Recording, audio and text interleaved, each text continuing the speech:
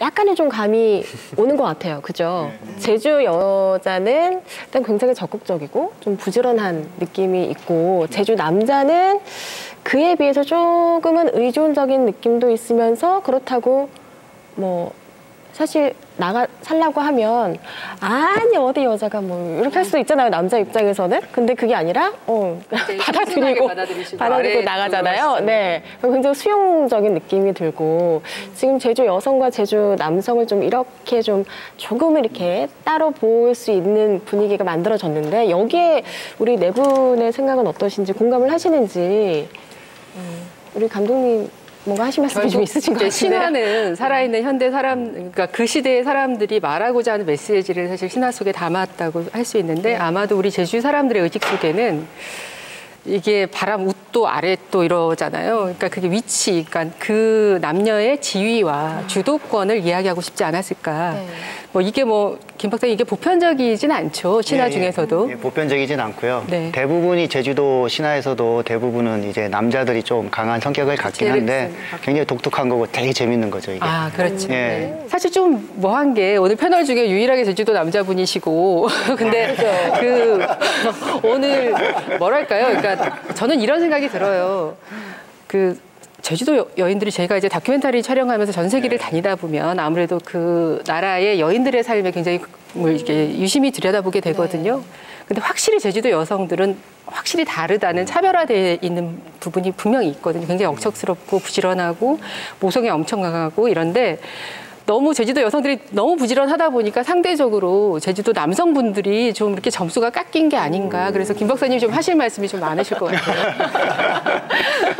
근데 제주도 여성에 대해서 많이들 얘기하고 최근에도 이렇게 조명을 받는 것 같아요. 그래서 제주도 속담 같은 데도 보면은 뭐 새로 나느니 차라리 여자로 어, 새보다도 못한 존재, 벌행이나 뭐 진행이보다도 못하게 이렇게 고생한다는 그런 존재로 많이 표현이 됩니다. 근데 제주도 남자가 그렇다고 이게 아까 상황극처럼 하나 쪽으로 이렇게 치부해버리기 너무 아쉽지 않은가 이제 그런 생각이 많이 들어집니다. 근데 실제로 근데 피터슨이라는 사람이 이제 제주도를 와가지고 봤는데 제주도 남자들은 너무 빈둥거린다. 실제로 그런 얘기들을 해요. 예, 실제로 그런 기록들이 있긴 있어요. 근데 제주도 남자들은 과연 뭘 했을까라는 거에 대해서 정확하게 한문 기록으로 많이 남아있지는 않습니다. 하지만은 이제 먼 바다에 가는 일이라든지 뭐 밖에 힘을 쓰는 일이라든지 그런 것들은 분명히 남자들이 했을 것 같다라는 생각이 들고 피터슨은 아마 일부를 본 거 아닌가 저는 그렇게 그렇게 강변을 좀 하고 싶습니다. 뭔가 제주 남성을 대변하고 싶은 마음이 굉장히 크신 것 네. 같은 사실 근데 그 일반화는 책이- 좀 그렇잖아요. 아, 맞아요. 제주도 네네네. 여성이 남성을 또 낳을 수가 있는데 그 유전자라는 게 어디 가겠습니까? 부지런한 유전자가. 네네. 예, 그렇게 생각을 하고 싶습니다, 저는. 네. 네. 사실 인정해 드리겠습니다. 그 알렉산더 피, 피터슨인가요? 네, 네. 피터슨인가요? 피터슨이 제주도에 와서 이- 머물렀던 기간이 한 일주일 정도였던 것 네, 같더라고요. 그래요. 근데도 굉장히 세심하고 세밀하게 기록을. 짧은 기간에. 네, 네, 굉장히 세밀해요. 근데 혹시 기억 나시는 거 있으세요? 그 묘사한 게 저는 굉장히 재밌었어요. 뭐요? 그 제주 제주도 남자들을. 묘사해 놓은 게 굉장히 재밌었던 기억이 있거든요. 근데 좀 빈둥거린다는 그런 기억과 그게 너무 강렬해요. 지금 너무 강렬해, 그게. 맞는 거 아닌가요, 그게? 약간 맞긴 해요. 인정을 합니다. 아니 근데 이게 맞긴 한데 전적으로 동의하긴 그렇다는 거죠. 저는 저는 인정을 해요. 아마 제가 기억하기로는 그 대부분의 힘든 일들은 뭐 그 저는 이제 그 작자가 그 글을 쓸 때 어떤 심리 상태나 이런 행간을 찾아보는 좀 재미를 느끼는 사람인데 거기 보면은 제주도에서는 굉장히 힘든 일, 물질 작업이나 뭐 해초 작업을 모두 여자가 한다. 그죠. 그리고 남성들은 하는 일이 거의 없다.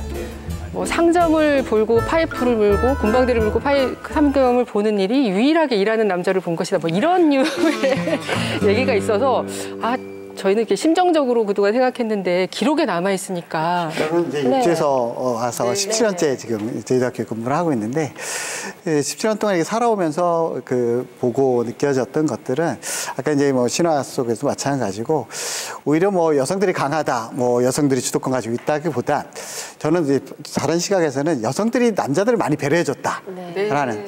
그래서 뭐 어업 활동을 하거나 그러면 또 태풍이 불거나 바람이 해서 뭐 사실은 많이 죽었을 거고요 남자들이. 어, 그래서 이제 육- 육지에서 농업 활동이라든가 뭐 각 정 가게 끌어가는 것들은 여성들이 주로 하다 보니까 아까 이 피터슨이라는 분도 주로 이제 생활하는 모습을 보다 보니까 아무래도 여성들을 주로 봤을 것이고요. 그렇게 어업 활동이나 목축 활동하다가 집에 와서 생활할 때는 이제 힘들었다 힘들었으니까 좀 쉬라는 의미로 술도 드시고 뭐 음식도 그러다 보니까 어, 왜 남자들은 놀고 먹지? 왜 그렇게 하지? 근데 제주 여성들이 그거 가지고 막 뭐 아까처럼 뭐 이혼하거나 쫓아내지 아니하고 같이. 살잖아요. 네. 공존하죠. 네, 공존하는 모습을 봤을 때는 제주 남성들은 뭐 착한 면이 있을 거라 생각이 들고요. 네, 네. 아까 그 순순히 물러가시잖아요. 아랫목으로. 네. 이게 착한 모습, 아, 이렇게 해서 가시면 될 것 같고, 여성들은. 그러, 그렇죠. 여성들은 배려심이 많이 있었던, 네, 네. 강하면서도 배려심이 있는. 강하면서도 배려심이 굉장히 좋은 해석이신 것 같아요. 포용력이 네. 아, 있고. 그럼요. 그 말하기가 되게 조심스럽다라는 피터슨 외국인의 말이 상당히 공감이 되는 게 저도 이제 지켜본 것들이 있잖아요. 이제 외부인으로서 지켜본 게 있는데 이야기하기는 상당히 조심스러워요. 이게 제가 이제 저는 또 어떤 관점에서 보냐면 제가 하는 일이 이제 보통 어르신들의 삶을 듣고 이제 생애 구술사를 책으로 만드는 일을 하거든요. 의외로 많은 경우에 생활력을 보여준 쪽이 어머님인 경우가 많아요. 근데 제주도가 좀 다르게 기억되는 이유는 그냥 제 관점에서는 어떠냐면 어차피 어머님들이 집에서 일을 많이 하시는데 육지도 마찬가지로 밭일도 많이 하시고 육아노동, 가사노동을 많이 하시는데 그게 겉으로 이제 드러나질 않는 거예요.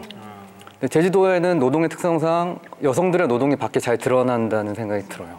물질 직접 하고, 예, 들어가야 예. 되고 뭐 이런 거. 그렇죠. 그게 환경이네요. 네, 네. 어쩌면. 굉장히 일리 있는 말씀이신 것 같아요. 그리고 또 한편으로는 여- 남자분들이 좀 유순하다? 네. 그러니까 처음에 이제 제가 아까 조심스럽다고 이해한 게 이런 부분인데 어, 확실히 그런 기질의 차이 느껴져요.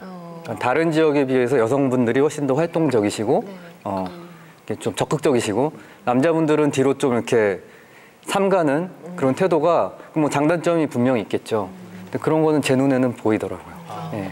저도 이제 학생들 그 진로나 이런 거 관련해서 학업 관련돼서 본인들하고 때로 상담을 할- 할 때가 있어요. 전화나 네. 직접 만나뵈서 상담을 할 때 보면 이 아버지들은 어머니 이렇게 떠넘기세요. 대체로 안 그러시는 분들도 계신데 예 벌써 말씀 안 하세요. 전화해가지고 통화하잖아요. 그러면 잠깐만 기다리시라고 어머님을 바꿔주시는 거예요. 그런 거 저 많이 겪었습니다. 그래서 어머님이 그러면 어떻게 할까요? 그래서 적극적으로 의견도 개진하시고 우리 아들이 우리 딸이 이렇습니다. 그래서 교수님께 많이 도와주세요. 이런 걸 많이 하시거든요. 근데 아버님 중에는 그런 분들 뵌 적이 거의 없어요. 그러니까 아까 신화가 맞다니까요. 결국 주도권을 누가 갖고 있는가에 대한 것이 상징이 바로 이렇게 현실로 나타나는 거라고 생각합니다. 그래서 말장 씨가 하신 말씀이 맞고요.